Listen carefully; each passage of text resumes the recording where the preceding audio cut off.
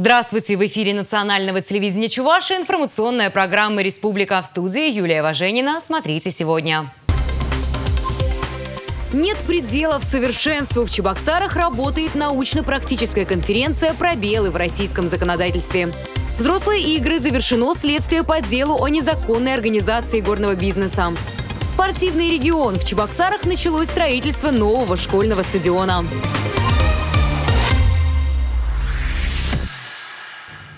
Российское законодательство постоянно совершенствуется, но время движется так стремительно, что законодатели не успевают вносить изменения в законы. Пробелом в этом важном сегменте была посвящена международная научно-практическая конференция, которая в эти дни проходит в столице Чувашии.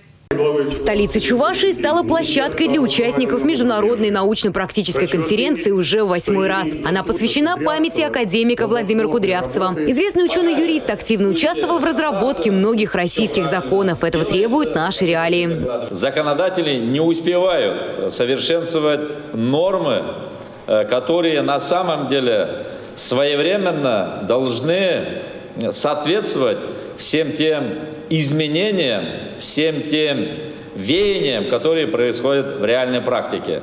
Отдельное отставание есть, э, пробелы в законодательстве по сравнению, конечно, с другими странами мира, можно сказать, и есть, но в то же время я хочу подчеркнуть, после развала Советского Союза, практически когда не стало Советского Союза, э, разделение произошло, и российской Федерации, нашей любимой стране, нужно было совершенствовать. Сегодня современная Россия – это правовое государство. И регионы Российской Федерации привели все свои законы, все свои нормативно-правовые документы в соответствии с федеральным законодательством. Это очень важно. В рамках конференции обсуждались такие важные юридические аспекты, как реформа в сфере государственных закупок, развитие права, теории и практика ведения уголовных процессов. Кстати, Чебоксарский кооперативный институт, на базе которого проходит фестиваль, не в первый раз принимают у себя участников. Аналогичная конференция уже проходила в этих стенах в 2010 году. Была достаточно представительной и результативной. По итогам ее работы были опубликованы ряд статей в рецензируемых журналах издан сборник материалов конференции, улучшились научные связи с регионами и ведущими научными центрами нашей страны и зарубежья.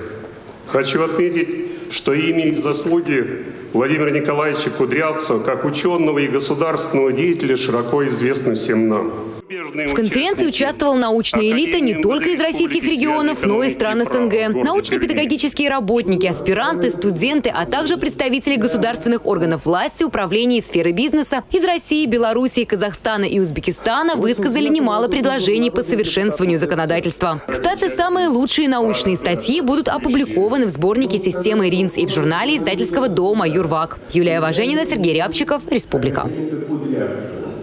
В Чебоксарах открылся Большой Ледовый дворец. В первый день работы комплекса здесь устроили грандиозный праздник. Гостями торжественной церемонии стали и известные спортсмены. Большая ледовая арена, тренировочный каток, зрительские трибуны на 7,5 тысяч мест. Четыре года назад эти планы казались амбициозными, но все они воплотились в реальность. Мечты сбываются. Главное в это верить.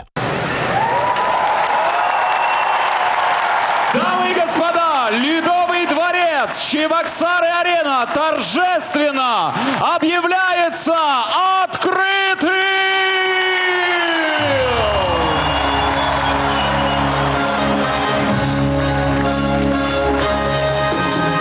Чтобы стать свидетелями грандиозной церемонии открытия дворца, горожане были готовы приехать сюда задолго. У главного входа на протяжении двух часов работали интерактивные площадки, выступали аниматоры и представители спортивных федераций. На только что залитом льду свои номера показали юные хоккеисты, шорт-трекеры и фигуристы. Всего в этом шоу задействовали более 500 человек. Это тот самый случай, когда культура и спорт сливаются воедино.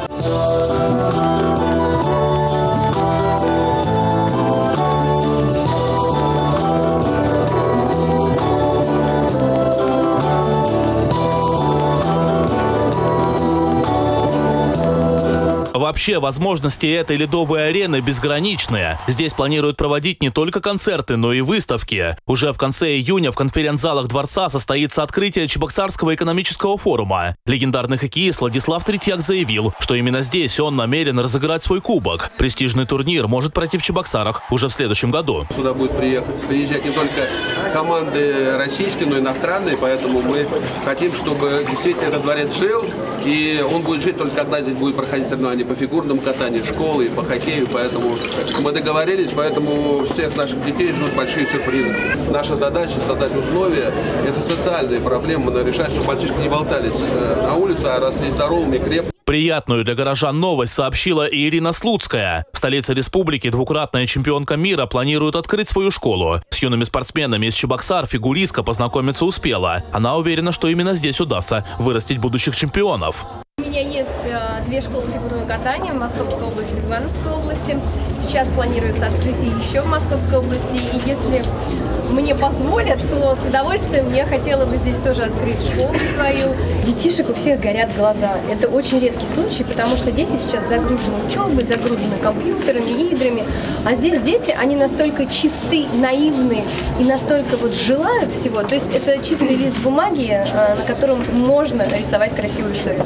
Я полагаю, что наше молодое поколение, наши детишки, которые катаются, они уже имеют определенный опыт, есть определенные уже победы, но нам надо создавать молодежную команду для того, чтобы выходить по тем стандартам на высшие уровни э, по хоккею. Большое будущее чувашскому хоккею предрекают уже сейчас. Недавно чебоксарская команда «Спартак» завоевала золото в чемпионате страны среди юниоров. Но то ли еще будет. За последние годы мы построили 50 объектов физической культуры и спорта. Вложили туда миллиарды рублей с одной единственной целью, чтобы наши жители занимались физической культурой и спортом. Этот дворец, уверены почетные гости, станет вкладом республики будущие спортивные победы страны. Дмитрий Ковалев, Андрей Спиридонов, Олег Якимов, Расиль Мухаметов и Андрей Шоклев. Республика. Чувашия – один из самых спортивных регионов России. На открытии Ледового дворца об этом говорили не раз. И лучшее подтверждение – строительство нового стадиона для Чебоксарского лицея номер 4. Он будет соответствовать всем европейским стандартам. Завершить строительство планируют к новому учебному году. Лицей номер 4 – 25 лет. Столько же было и старому стадиону. В следующем учебном году ученики будут заниматься физкультурой и спортом уже на новом. Данный плоскостной спортивный объект включает в себя а, спортивное ядро с беговой дорожкой на 200 метров, а, две модифицированные площадки. Одна площадка а, воркаута, другая площадка уличных тренажеров, которые будут находиться по краям стадиона. Затем э, будет универсальная игровая площадка, которая будет предназначена для игр в волейбол, баскетбол, э, большой теннис.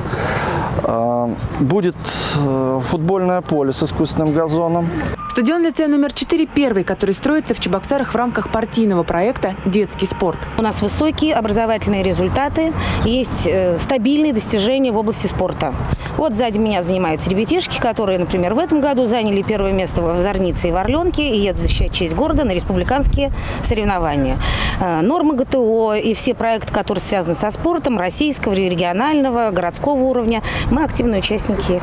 Стоимость строительства более 30 миллионов рублей. Сейчас подрядчики готовят площадку под искусственное покрытие. Затем будут монтироваться тренажеры и мачты освещения. Татьяна Молокова, Сергей Репчиков, Республика. Чувашские полицейские задержали супружескую пару с крупной партией спайсов. В ходе обысков у них было изъято около 600 граммов запрещенного вещества. Подробнее в нашем сюжете.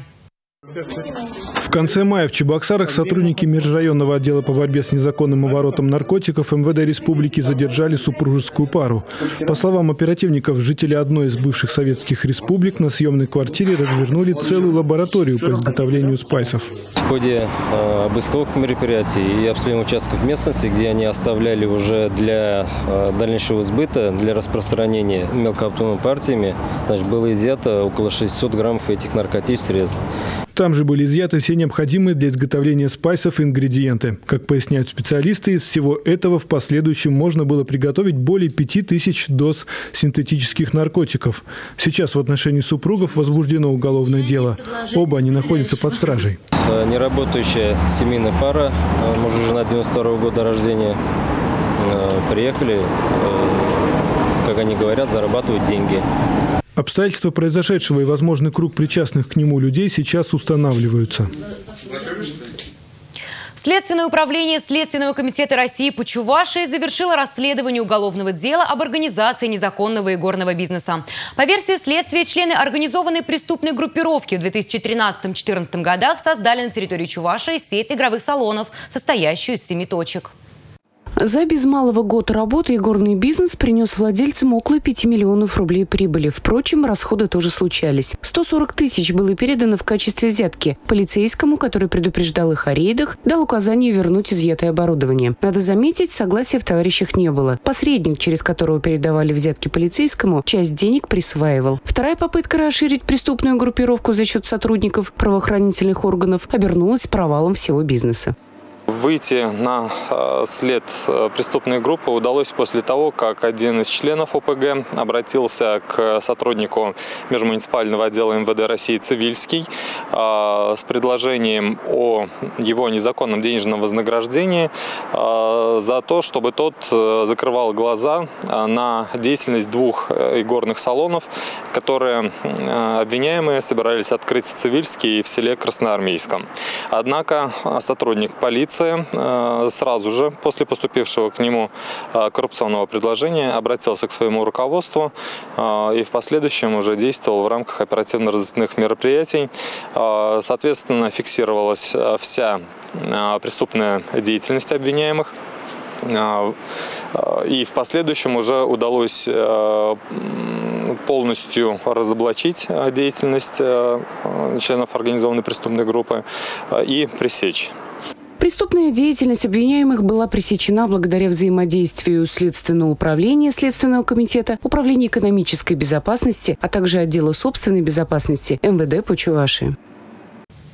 В Чебоксарах прошел первый фестиваль художественного слова «Как безграничная щедрость языка».